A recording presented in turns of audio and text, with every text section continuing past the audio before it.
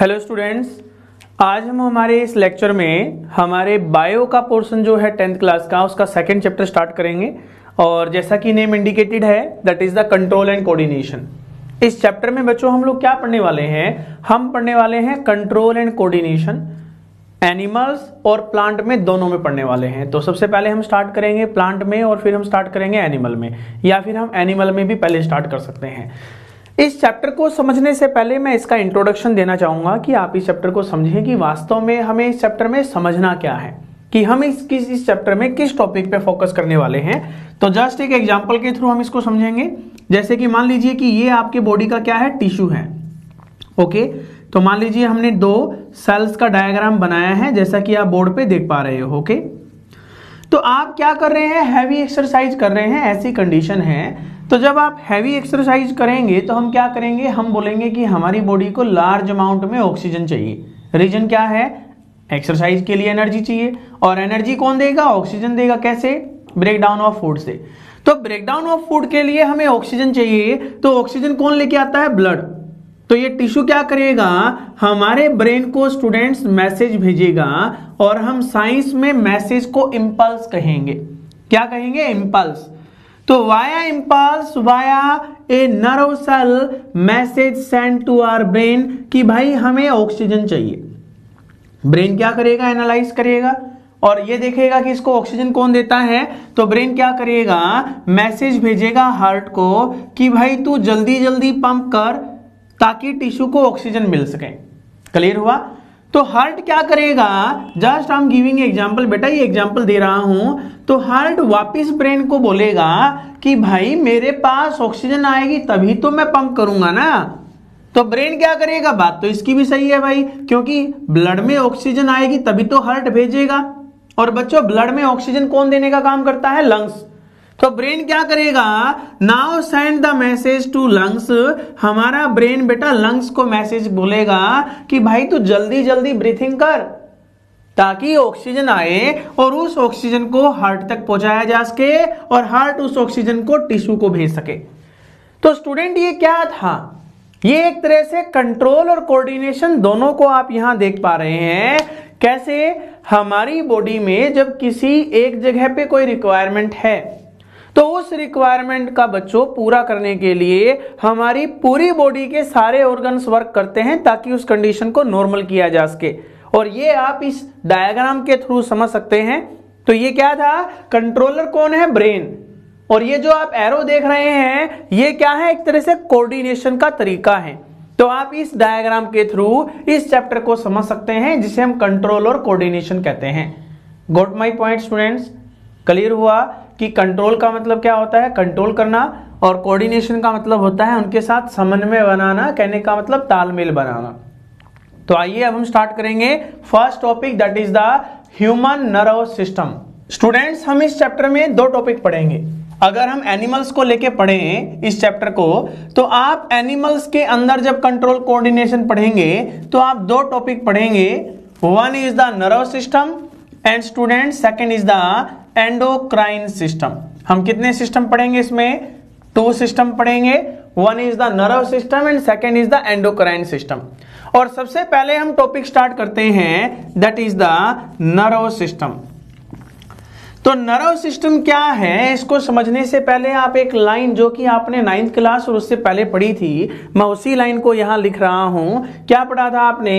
Group of cells together make yes student answer is tissue tissue together make organ organ together makes organ system and students organ system together make a complete organism तो this is a flow chart we have read in our earlier classes जो हम पिछली classes में पढ़ चुके हैं। तो यहाँ हमने क्या लिखा है? देखो नर्व सिस्टम ऑर्गन सिस्टम की जगह क्या लिखा है हमने? Nerve system. तो यानी नर्व सिस्टम किससे मिलकर बना होगा? नर्व टिश्यू से। और नर्व टिश्यू किससे मिलकर बना होगा? नर्व सेल से। तो हमने क्या लिखा? Group of group of nerve cells together make a system in our body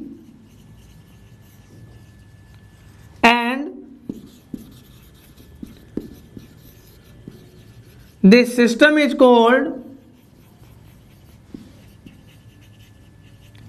nerve system तो स्टूडेंट्स हमने क्या कहा?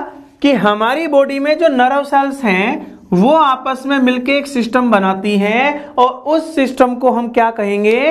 नर्व सिस्टम तो आइए अब हम इस नर्व सेल का डायग्राम देखते हैं और फिर इसकी कंप्लीट एक्सप्लेनेशन करेंगे कि ये क्या होती है और इसमें कैसे मैसेज जाते हैं।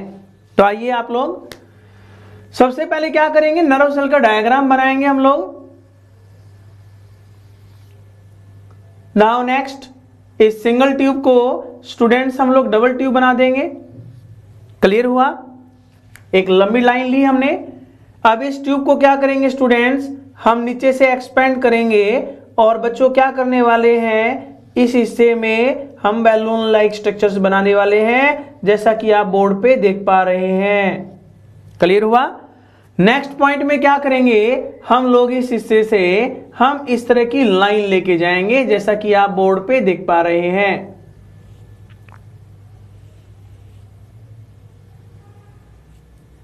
क्लियर हुआ स्टूडेंट्स नाउ द नेक्स्ट हम इन पॉइंट्स को इस तरह से चेंज कर देंगे मॉडिफाई करेंगे और ऐसी स्ट्रक्चर्स बना देंगे।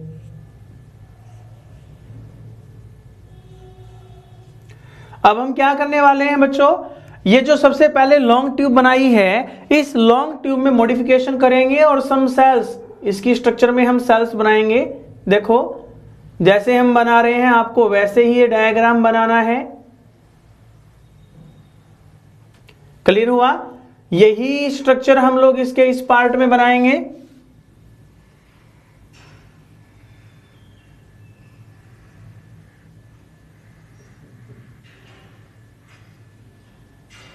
क्लियर हुआ स्टूडेंट्स अब क्या करने वाले हैं? इसके इस पार्ट में जो सबसे बड़ी सेल हमने बनाई है, उसके सेंटर में एक लार्ज साइज़ का डार्क बनाएँगे। बाकी हिस्से में बेटा हम लोग डॉट डॉट बनाएँगे और ये डॉट डॉट जो है, ये बाहर आपने जो स्ट्रक्चर्स बनाई है, वहाँ तक भी आप इन्हें शो कर देंगे। क्लियर हुआ? अब हम इसकी नेमिंग करेंगे। नेमिंग करने से पहले आप इन सेल्स में अल्टरनेट में एक डॉट बनाते जाएँगे।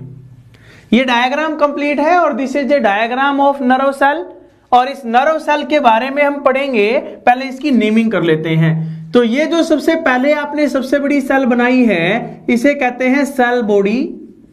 Cell body. और इस सेल बॉडी की जो ये छोटी छोटी ब्रांच आप देख रहे हैं, इन ब्रांचेज को कहा जाता है डेंड्राइट्स।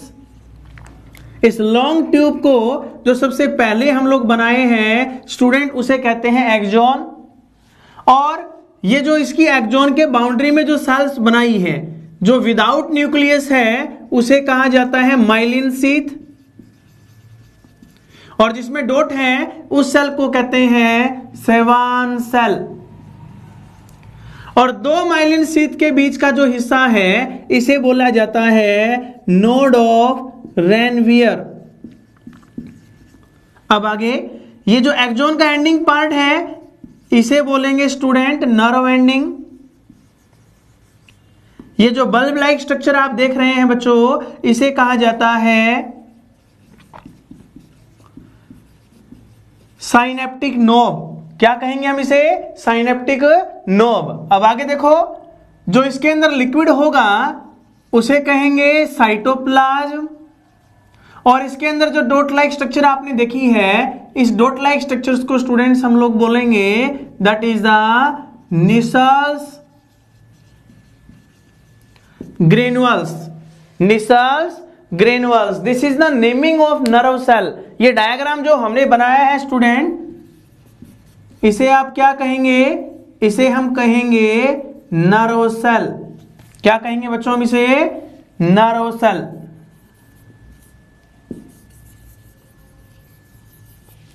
क्लियर हुआ? अब हम इस नर्व सेल के बारे में पढ़ने वाले हैं तो आप लोग बोर्ड पे ध्यान दें। देखें नर्व सेल के बारे में आप लोग क्या क्या लिखने वाले हैं, ध्यान से सुनना। हम बोलेंगे, सबसे पहली बात तो सबसे पहला पॉइंट हम लिख सकते हैं longest cell of our body हमारी बॉडी की सबसे लॉन्गेस्ट सेल जो है, वो हम नर्व सेल को कहते हैं। नेक्स्ट पॉइंट पे आते हैं। नेक्स्ट पॉइंट है कि जो नर्व सेल है स्टूडेंट्स इसका काम क्या है? Conduction of conduction of nerve impulse हमारी बॉडी में जो नरो इम्पल्स होती है स्टूडेंट उसकी कंडक्शन के लिए रेस्पॉन्सिबल है। और नर्व इंपल्स क्या होती है, अगर आपसे पूछा जाए तो आप क्या बोलेंगे कि हमारी बॉडी में जो मैसेज है, मैं लिख रहा हूँ कि जो मैसेज होते हैं स्टूडेंट इन मैसेज को हम साइंस में बायो में हम इंपल्स कहते हैं। तो हमारी बॉडी में जो मैसेज होंगे, उन मैसेज की कंडक्शन कौन करेगा? That is the nerve cell जैसे आपको किसी ने टच किया तो टच करते ही आपको पता लग जाता है आपके ब्रेन के द्वारा। तो वो मैसेज कौन लेके गया? That is the nerve cell आगे, इसकी लेंथ अगर आप ले लॉन्गेस्ट सेल कहा? ऑलमोस्ट वन मीटर के करीब लेते हैं। नेक्स्ट ये जो नर्व सेल्स हैं डू नॉट रिपेयर ये बेटा रिपेयर नहीं होती है। अगर एक बार नर्व सेल डैमेज हो जाए तो हमारी बॉडी की वो नर्व सेल दोबारा रिपेयर नहीं होगी। एंड नॉट फॉर्म अगेन और ना ही हम ये कहेंगे कि ये दोबारा बनेगी। क्लियर हुआ? नेक्स्ट इसकी टाइप को लेके बोला जाए तो नरव सेल की हम बेटा दो तरह की टाइप पढ़ते हैं। वन सबसे पहले नंबर पे आप लिख सकते हैं सेंसरी नरो क्या लिख रहे हैं हम लोग? सेंसरी नरो और दूसरे टाइप की बेटा हम लोग लिख सकते हैं दैट इज़ द मोटर नरो तो कितने तरह की नर्व पढ़ी हमने? दो तरह की नर्व पढ़ी सेंसरी नर्व और मोटर नरो अब सेंसरी नर्व और मोटर नरो की हम लोग डेफिनेशन पढ़ते हैं। क्लियर हुआ? क्या कहा हमने नर्व सेल को? ये लॉन्गेस्ट सेल है। क्या काम करती है? मैसेज को लेके जाती है और उस मैसेज को हम इंपल्स कहते हैं। थर्ड इसकी लेंथ कितनी होगी? वन मीटर के करीब होगी। नेक्स्ट डू नॉट रिपेयर ना ही ये रिपेयर होती है और ना ही दोबारा से बनती हैं अगर डैमेज हो जाए तो। टाइप कितनी पढ़ रहे हैं? दो सेंसरी और मोटर तो आइए, अब हम सेंसरी की डेफिनेशन पढ़ेंगे। हेडिंग क्या है?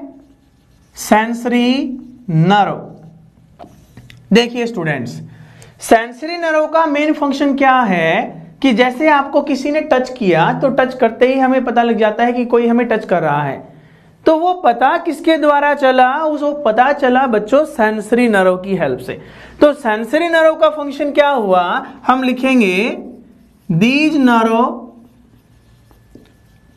help in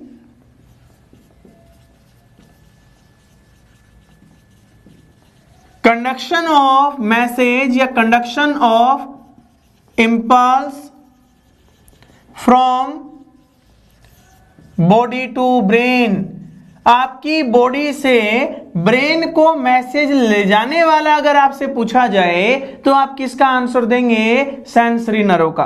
तो सेंसरी नर्व के बारे में क्या लिखा? This nerve help in the conduction of impulse from body to brain यानी बॉडी से बॉडी के किसी भी पार्ट से ब्रेन तक मैसेज ले जाने का काम जो करता है, उसे हम सेंसरी नर्व कहते हैं। और मोटर नर्व क्या लिखेंगे स्टूडेंट फिर हम? मोटर नर्व क्या करेंगे? जस्ट इससे अपोजिट कर देंगे। जस्ट इससे अपोजिट मतलब these nerve carry impulse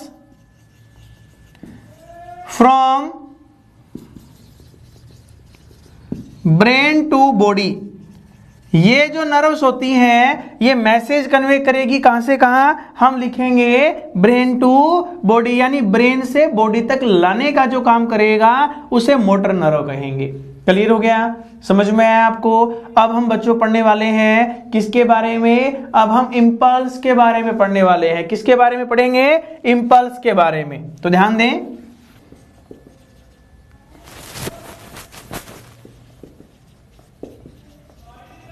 listen student impulse के बारे में हम लोग क्या कहेंगे कि इम्पल्स जो है, इसे क्या कहा जाता है? मैसेज कहा जाता है। जो मैसेज हमारी बॉडी में बनेगा, उस मैसेज को हम इम्पल्स कहेंगे।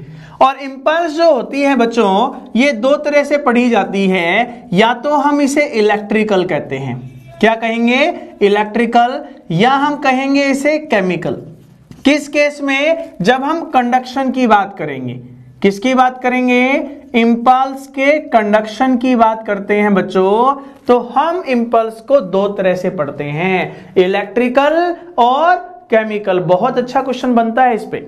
और अगर आप पिछले सालों के पेपर को उठाओ तो आप इजीली कह सकते हैं कि बहुत सारे क्वेश्चन हमें इसमें से देखने को भी मिले हैं। क्लियर हुआ? तो जैसे कि क्वेश्चन बना पूछा पूछा जाता है, मैं आपको क्वेश्चन बताता हूँ। What is the mode of transmission of impulse in a single nerve ये जो आप नर्व देख रहे हैं what is the mode of transmission of impulse ये मैसेज कैसे भेजेगी? अगर एक ही नर्व है तो? और अगर दो नर्व है तो कैसे भेजेंगी? और वो दोनों नरव आपस में जुड़ी हुई है, नहीं जुड़ी हुई है तो उसके आधार पे इस टॉपिक से क्वेश्चन पूछा जाता है। तो आइए अब हम बात करेंगे। तो सबसे पहले हम बोलते हैं आपके लिए एक इंपॉर्टेंट पॉइंट आपको लर्न करना है, और वो पॉइंट क्या है कि within a single nerve within a single nerve impulse is transported only in electrical way and the way of transmission is कैसे जाएगी? अब आप ध्यान दें। क्या लिखा हमने? Within a single nerve ध्यान देने वाली बात है कि हम एक ही नरव की बात कर रहे हैं। तो within a single nerve impulse is transported only in electrical way तो यानी इलेक्ट्रिकल और केमिकल में से पूछा जाए और आप एक ही नरव की बात कर रहे हैं तो आंसर क्या देंगे? It is transported in electrical way और इसका डायरेक्शन क्या होगा? अब आप ध्यान दो, इसका डायरेक्शन होगा कि सबसे पहले मैसेज जो है, मैं लिख रहा हूँ impulse come on come on सबसे पहले यानी कि फ़र्स्ट टाइम सबसे पहले इंपल्स जो है बच्चों, वो किसके ऊपर आएगा? हम बोलेंगे मैसेज आएगा डेंड्राइट के पास। डेंड्राइट से कहा जाएगा? हम बोलेंगे सेल बॉडी और सेल बॉडी से कहा जाएगा? तो आप लिखेंगे एक्जोन और एक्जोन से कहा जाएगा? तो आप लिखेंगे that is the nerve ending क्या लिखा हमने? हमने लिखा कि सबसे पहले इम्पल्स जो है, वो डेंड्राइट के पास आएगा बच्चों। डेंड्राइट से सेल बॉडी सेल बॉडी से एक्जोन एक्जोन से नर्व एंडिंग तो ये इसका मोड ऑफ़ ट्रांसमिशन होगा, भी कैसे जाएगा? अब आप डायग्राम में ध्यान दें। सबसे पहले मैसेज कहाँ आएगा? इन डेंड्राइट्स के पास। और डेंड्राइट के पास मैसेज आने के बाद बच्चों, ये मैसेज उसके बाद कहाँ आ जाएगा? इस सबसे बड़ी सेल के पास, जिसे सेल बॉडी कहते हैं। तो message from dendrite come on the cell body from cell body it is transported into axon from axon it is transported in nerve ending and from nerve ending it come on the synaptic knob ये कहाँ जाएगा synaptic knob में और ये एक ही nerve के अंदर है तो आप इस पूरे ट्रांसमिशन को कैसे कहेंगे वाया इलेक्ट्रिकल कैसे होगा ये इलेक्ट्रिकल होगा अगर एक ही नरव की आप बात कर रहे हैं क्लियर हुआ समझ में आया आपको? कोई डाउट यहाँ पर? अब आगे ध्यान दो।